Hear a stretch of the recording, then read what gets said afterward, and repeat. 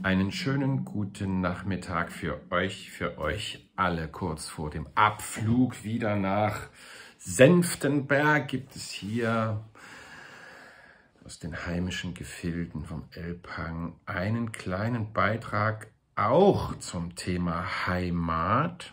Ich bin ja gerade hier, der Heimat und fahre dann wieder an die andere Heimat. Und zwar vom Nobelpreisträger von 1999, Günter Grass, der 2015 88-jährig starb. Und in einem seiner letzten Bücher hat er diesen Beitrag über das Thema Heimat geschrieben und überschrieben mit Heimweh.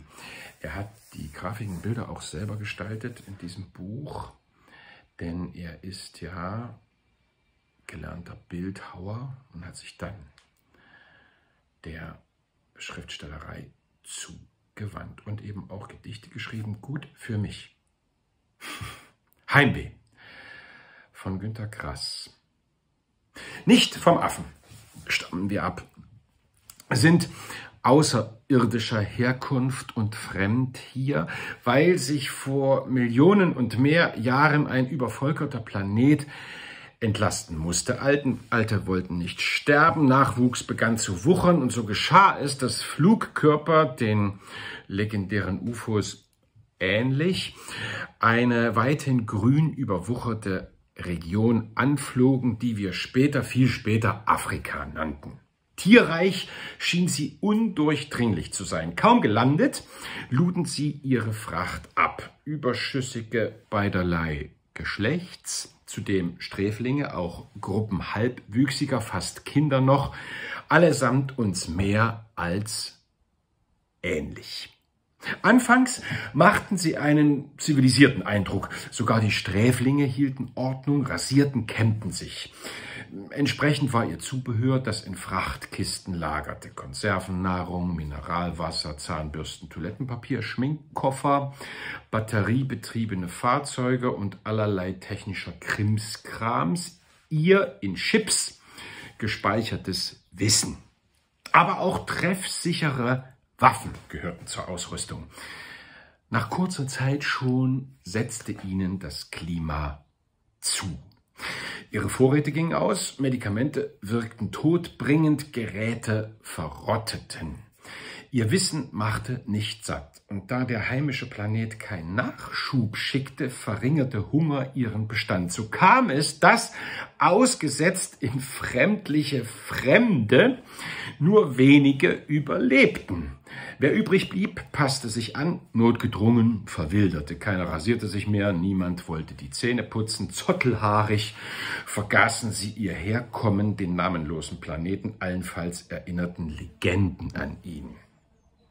Danach verging Zeit, die nicht gemessen wurde, da unsere restlichen Vorfahren sich dennoch mehrten, teilten sie sich in Horden auf, wanderten aus, waren Jäger und Sammler, sie bekämpften einander mit Faustkeilen, Keulen und später, viel später mit zugespitztem Metall. Diese Geschichte kennen wir, sie reicht bis heutzutage. Hm. Nur wenn wir Ausschau halten nach Lichtjahre entfernten Planeten, dürfen wir inmitten flimmernder Vielzahl einen vermuten, der uns einst Heimat gewesen ist. Angestiftet vom Fernweh schicken wir Raumschiffe ins All auf Suche, kostspielig auf Suche. Ach, wären wir doch zu Hause geblieben dann müssten wir nicht an Darwin und dessen Affenmärchen glauben, an dieses unausrottbare Es war einmal. Pünktchen, Pünktchen, Pünktchen. Sensationell. Ich finde es äh, also, also auf alle Fälle eine Möglichkeit. ähnlich dem Planet der Affen. Also ähnlich diesem Film, diesem tollen Film mit Charlton Heston. Ja, Vielleicht war es so, vielleicht auch nicht. Ich wünsche euch einen weiterhin schönen Nachmittag, einen schönen Rest Freitag und ähm, vielleicht bis morgen, wenn ihr wollt. Wenn ich will, natürlich.